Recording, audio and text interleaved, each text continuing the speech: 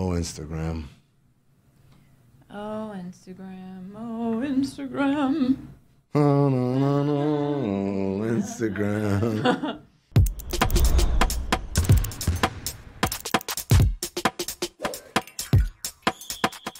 Welcome to Oddball. I'm Amin Elhassan, and sitting to my left with a picture of Taj Gibson is the one and only Charlotte Wilder. Hello, Amin Elhassan. Hello, Charlotte Wilder. Why do you have a picture of Taj Gibson? Uh, well, because he has done for the Detroit Pistons what we were not sure anybody could do. They now have a quarter of their wins with this guy from his 10 day contract. They won two in a row, beat the Raptors last night. And on the Dan Le Batard show, we, mm-hmm. I said, I think that everybody should take that bet.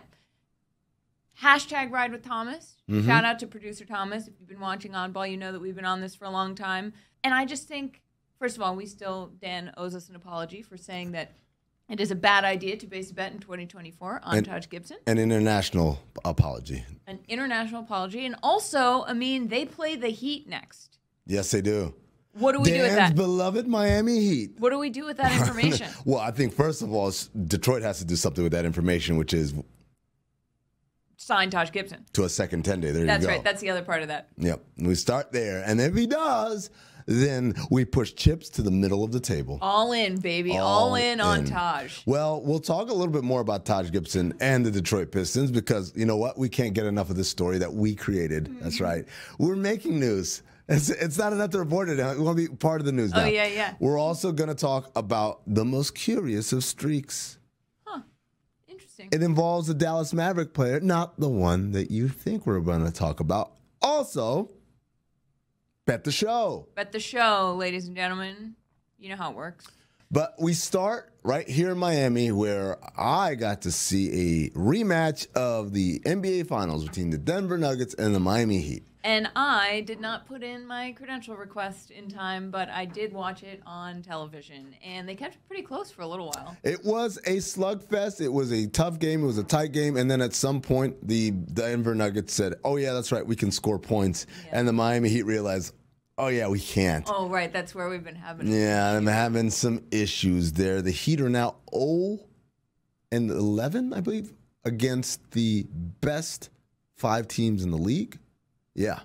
Yeah. Not, So how did I mean? I feel like the Heat are a team that everyone's always like they're terrifying to meet in the playoffs, no matter what. Blah blah blah. Mm-hmm. Yeah. Is this year going to be different? well, every time everyone says, oh, no, okay, that was just a fluke. That was just a thing. And then Yeah. they get to the playoffs and they do it again. So, Yeah. I mean, at this point, I feel like you err on the side of the. The recent history, which is they seem to show up. And because here's the thing, they do defend at an amazing clip. Again, they held the Nuggets to 100 points. Nuggets are one of the best offenses in the league. Nikola Jokic only had, I want to say, 12 points last night. He was strangely quiet. I shouldn't say strangely quiet because I think Bam Adebayo did an incredible job defending him, being denial, keeping Yeah. him off the glass, etc. They couldn't hit shots when they needed to. Yeah. Denver could. And so if you're glass half full, as that glass on your table looks like, right? Glass half full says, hey, Tyler Herro didn't play. Hey, when the playoffs get here, the game gets slower, and Jimmy Butler seems to raise his game to another level, and Bam Adebayo's been playing a lot better uh, offensively this year. We'll be fine. Glass half empty. This team is a bottom third in the NBA offense, bottom third in half court offense, bottom third in transition buckets off of steals, right? Middle of, the way off of rebounds Yeah. not only are they not good at scoring, they're not even good at getting those scoring opportunities that are easy, which is the transition ones. So all those things combine to say, yeah, I would be concerned if I'm Erik Spoelstra. Yeah. But again, you know, recent history says they usually figure it out when they get to the playoffs. At one point last night, I could hear on television Jaime Jaquez took a three. He was like one for seven Yeah. or something at the point at this point in the game, and and he missed. And I just heard the crowd Audible groan, groan. which is usually reserved for Madison Square Madison Garden. Square Garden is usually the groaners, but, But yeah. yeah. I also I am upset that I wasn't at the game because my favorite in-game entertainment Ah. happened and I wasn't there to see it. And they had a new bit this time. The Golden Oldies. That's right. Charlotte is obsessed. They have a, a team of elderly people come out and they do a dance routine. They're like a full-on dance routine, and usually they mix it up. When they they always start like, oh, we're kind of old, and oh, and then the music switches, and then all of a sudden they're doing all these modern dances and stuff. For the Heat, it's called the Golden Oldies, and last night they came out with like a country theme. I can't believe I miss it. I miss the Golden Oldies and a country theme. I love country music. I you? don't know. Yeah, I do. I don't know why. I did not know that. Yeah, uh, I contain multitudes. But I mean, I have every time I've been to a game and I've walked by the Golden Oldies in the. Which is every time you go to a game, by the way. They're always They're performing always- the nights at Charlotte's there. Yes, exactly. It's like some bat signal, and they're always hanging out practicing in the in the corridors around the arena. And I say hi to them, and I feel like I'm I'm starstruck. They're like, "Oh, hey," and I'm like, "You do an amazing job," because I don't think people understand. They do an unbelievable job. Like these people can actually dance. And I just think also I do watch League Pass sometimes largely just for these interstitials. Like Jazz Bear has been insane recently. So this is my favorite part about last night. I'm at the game. I tell Charlotte, "Oh, by the way, your folks are here. They're about to go. They're going to go dance." She got so excited, and then a little bit later, she complains to me like, "Oh, this game's not on League Pass." And I said, "Yeah, Charlotte, it's on ESPN. You can just turn on your hotel." TV and watch it on ESPN. And she says, "No, I need League Pass so I can watch the timeouts, so I can watch the Golden Oldies." I was like, I have the game on. I'm not. I don't need to see the game. I mean, speaking of games, are you playing in a celebrity basketball? I am. game on Saturday. I am playing on a celebrity basketball game on Saturday in Dallas Oh my for God. Athletes Unlimited. This is a women's professional league. Mm-hmm. They actually have for different sports, but obviously this is the basketball one I'm Yeah. going to be helping out with. And they asked me to do it, and I said, you know what? Why not? Yeah. Oh. And instantly regretted it because I am terrified of getting hurt. Terrified of getting hurt. I've I, I've even requested to get subbed out as quickly as possible and never put me back in the game because I just don't want to get hurt. are they going to do that for you? I don't know. Well, the good news is I know who's coach. One of the coaches who's coaching Who's me. coaching you? Are you Uh, allowed to say? Count on Vic.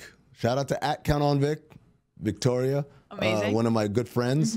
Uh, so I'm gonna tell her like Vic, your boy cannot go too much longer than uh, maybe a couple of seconds here. Yeah, as someone who also has back problems, I'm like scared Well, for it. know- that was like, you know what this version for me is when Dan was like, "Go run, Run. with Oh. the helmet on," and I was like, Yeah, that was that was a brave decision because the parking lot out there is not it's not smooth pavement. No, it it's got all the nooks and crannies and cracks and "It stuff. didn't feel good," but Yeah. anything for And then they asked you to do it again. That's my favorite part. Like, oh, we didn't get it the yeah, first I time. was like, goddamn it.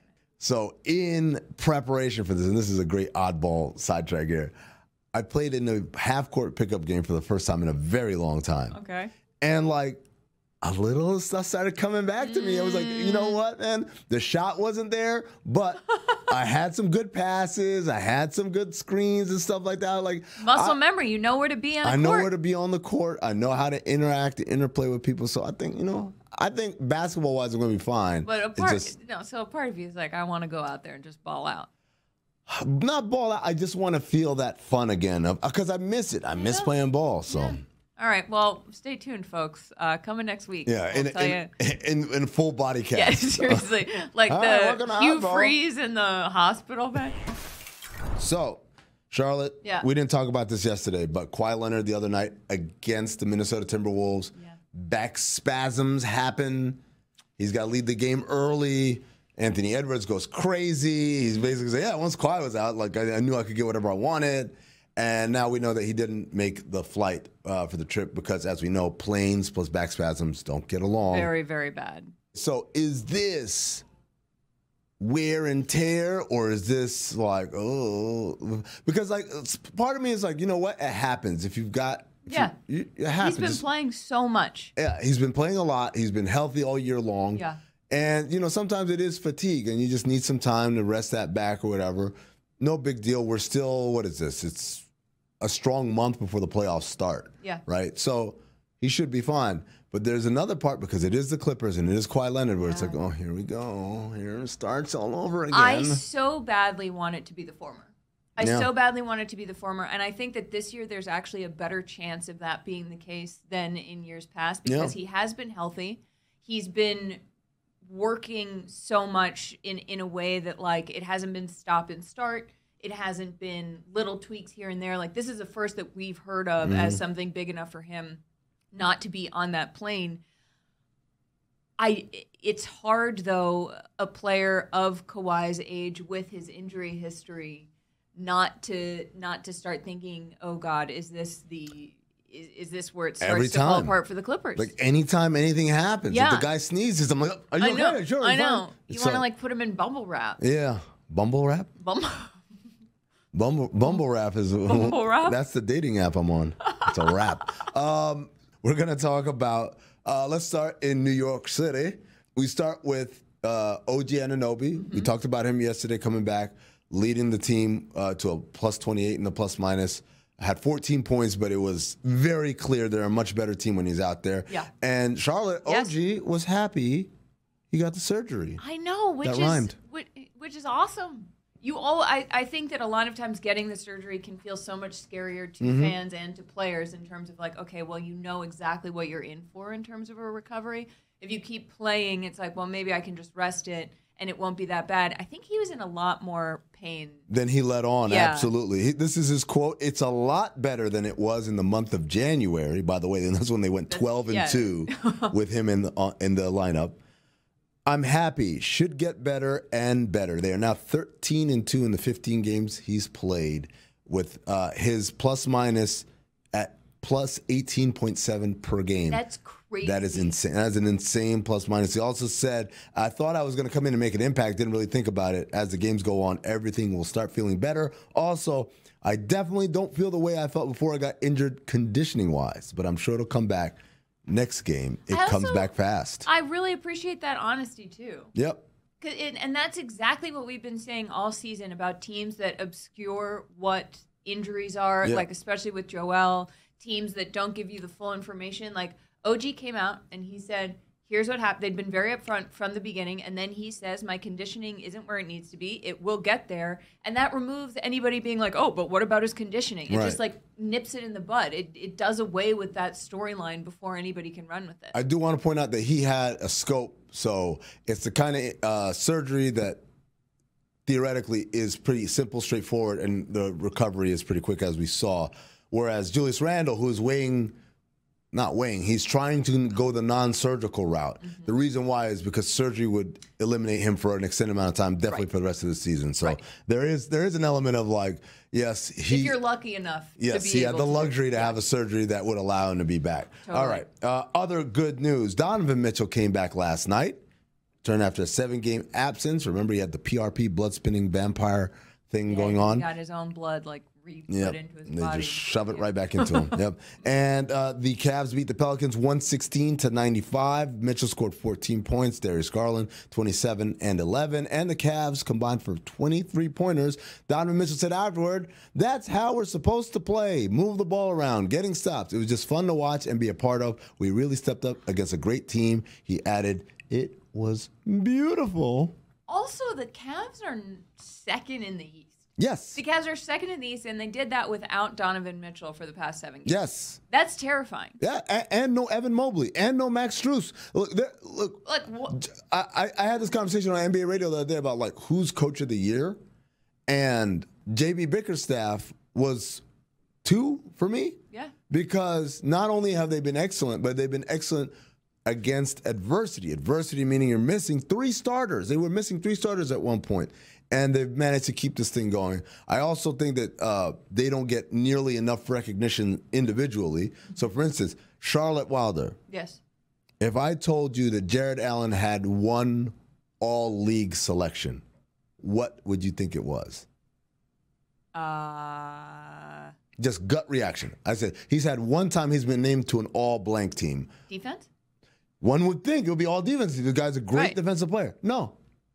He's been an all star, but he hasn't been an all defensive team selection, which is kind of preposterous when you think about it. This guy is an elite, elite, elite defensive center in the league. And the reason why the Cavs are such a stalwart defense uh, year in and year out, basically since he and JB Yeah. Bickerstaff have been there.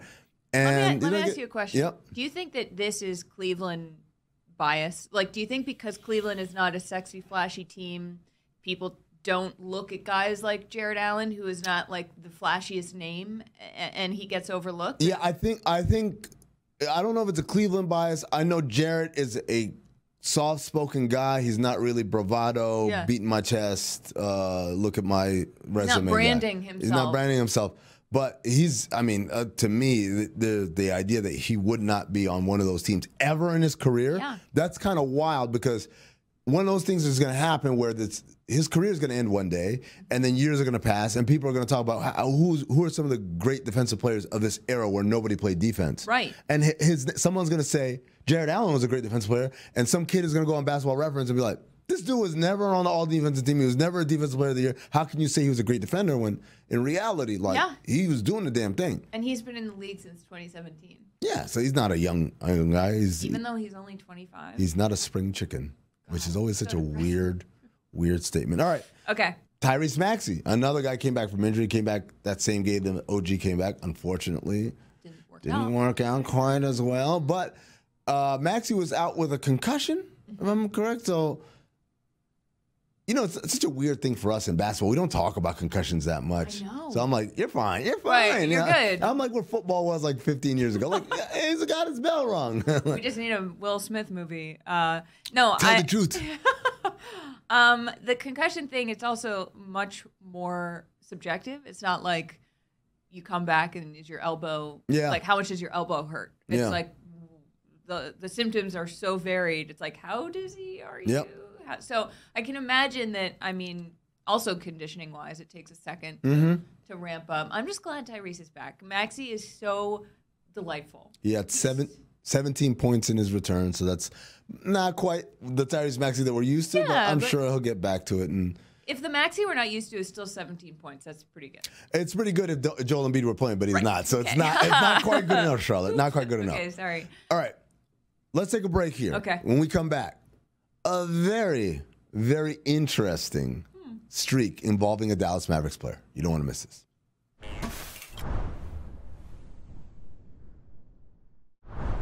All right, Charlotte Wilder. The Dallas Mavericks have a couple of streaks that were going that have been very impressive. One has been broken, one is still going. So the one that everyone knows about is Luka Doncic had seven straight games with a triple double. That was the second longest in NBA history. Longest was Russell Westbrook with 11, and then he was tied with Wilt Chamberlain with seven. Right, but he did have the record for most consecutive triple doubles with 30 points, which is six games in a row, and 35 points, which is five games in a row That's preposterous. preposterous. and yet there's one that's even more preposterous that's still going right now. What is it? It's Daniel Gafford. The newly acquired Daniel Gafford used to play for the Washington Wizards, now plays for the Dallas Mavericks. But Daniel Gafford is just three field goals away from the all time record for most consecutive field goals made. The record is 35 in a row. Gafford has made 33 field goals in a row Oh over, over the last five games. The pressure that comes with these next two shots. He's going to be like, Oh, I can't even. Oh my god, I I have a dunk- stomach ache. dunk the shit out of it, Daniel Gafford. You, Put you- it into the basket. No layups. No. No, jump hooks. No, No, jump hooks. definitely not a three. have to go God forbid. And like Aaron Gordon last night, grab the rim and slap the backboard on the way down. So wait, who has a record? The record is Wilt Chamberlain. so oh, this is right. one of those like what I call the hallowed records. Like when you when you break a Wilt Chamberlain record, you're doing shit. That ain't Yeah. no regular everyday uh, occurrence. But 33 field goals made in a row over the last five games. He's three field goals away from owning that record. The Mavs have won four in a row, and they go to Oklahoma City to play the second game of a back-to-back tonight. So, So- this could happen. Little legs. It could. It could Do happen we know tonight. how many games he's done this across? Five games. Five it's games? over five games. Okay. Now, Luka left the last game with 646 remaining after he, uh, I believe it was a hamstring tweak, yeah. right? So it's a back to back. He tweaked his hamstring last night. There is a chance that Luka Doncic does not play. If you're Daniel Gafford, do you also conveniently tweak your hamstring? Oh, Yeah. coach, I can't, I can't go tonight. I might- Lu- Luka, how you feel? I- uh, no, no, no. Luka's Yeah, out. no. I'm out. If Luka's out, yeah. I mean, it has nothing to do with him, but also, I want to be spoon fed lob pass. That's honestly, if I'm Jason Kidd, and I know this goes against all competition, or whatever, we're drawing up just lob passes for Gafford, like just lobs. Because once you're up there, you know immediately either I'm going to finish this or I can't finish this. I got to come back down. Right. If you come back down, Gaff, don't worry. Just like either kick it back out or pump fake and jump and then draw the foul. Because then that's a freebie there. Right. Like you get fouled and you throw it up. If it goes in, boom, you got a field goal make. If you miss, you drew the foul. It's all good. That field goal attempt doesn't count. That's the only way to go about this if you're Daniel Gafford. Yeah. Listen, Jason Kidd, do the right thing. Daniel Gafford do the right Daniel thing. Daniel Gafford, do the right thing. All right, it is time for Bet the Show. Bet the Show is sponsored by DraftKings. Stay tuned because you'll hear more about DraftKings and all it has to offer throughout the show. DraftKings, the crown is yours. Hell yeah. Before we get into today's bets, which I am going to be taking, uh, last Thursday's bet, hashtag ride with Thomas, where the whole Taj Gibson thing started.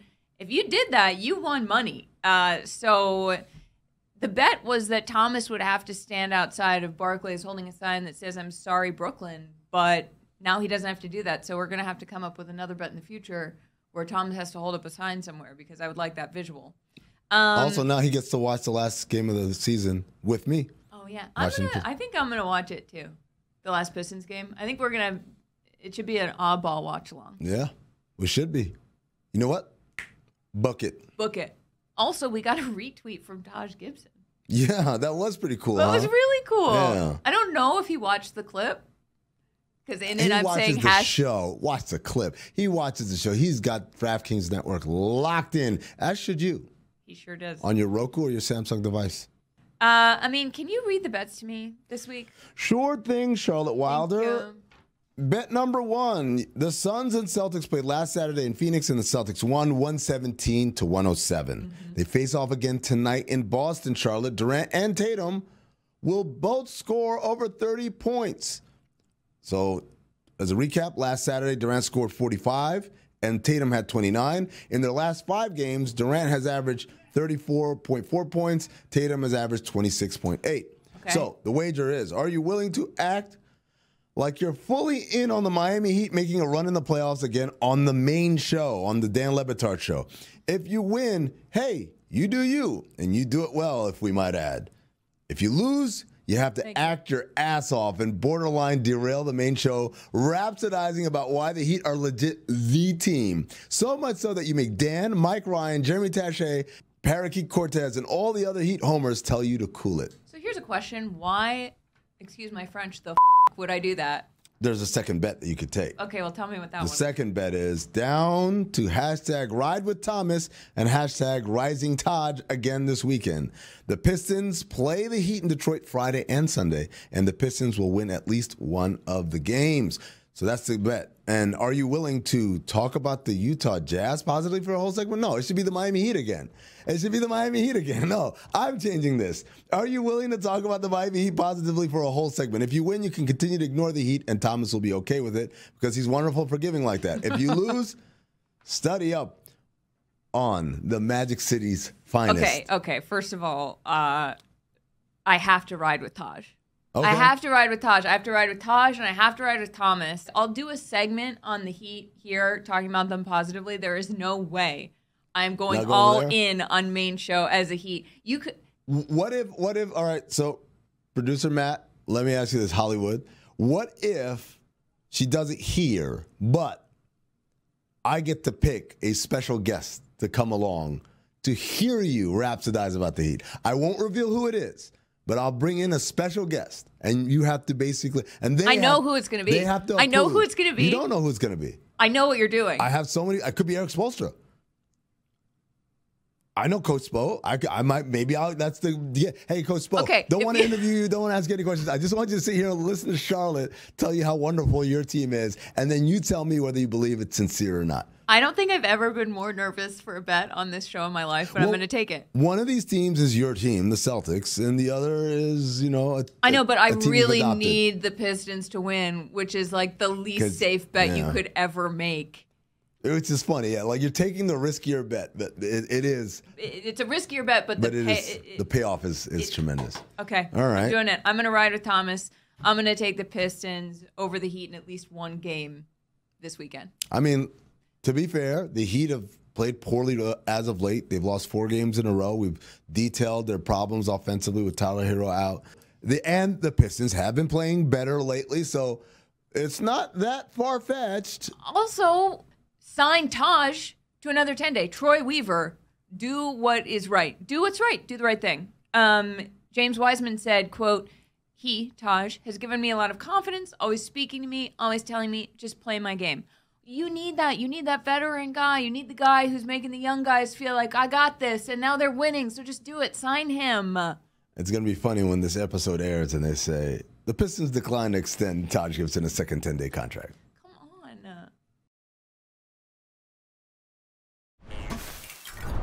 have Taj like eating like a donut. Yeah, he's like, just play just your play game. Your game.